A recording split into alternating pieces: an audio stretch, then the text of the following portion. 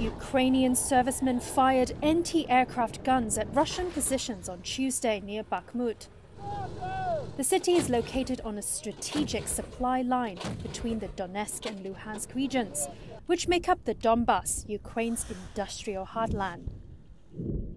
Gaining control of Bakhmut could give Russia a platform to advance on two bigger cities, Kramatorsk and Sloviansk.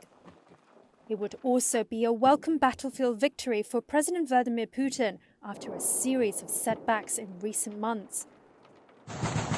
Kiev said on Tuesday that its troops are facing waves of assaults by Russian forces on a small salt mining town of Soledar.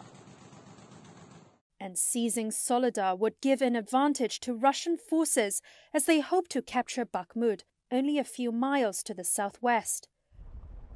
Sergei Cherevatyi, a spokesperson for Ukraine's eastern forces, said the Russians were deploying their best Wagner fighters at Soledar, which had been struck 86 times by artillery over the past 24 hours.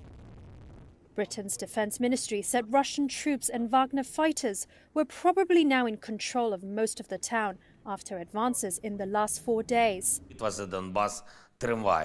But in his nightly video address on Monday, Ukrainian President Volodymyr Zelensky said Bakhmut and Soledar were holding on despite widespread destruction. Reuters could not verify the battlefield reports. NATO Secretary General Jens Stoltenberg on Tuesday said Russia was mobilizing more troops for the war in Ukraine and should not be underestimated. And there is no indication that President Putin has changed uh, the overall aim of his uh, uh, brutal war against uh, Ukraine. So we need to be prepared for the long haul.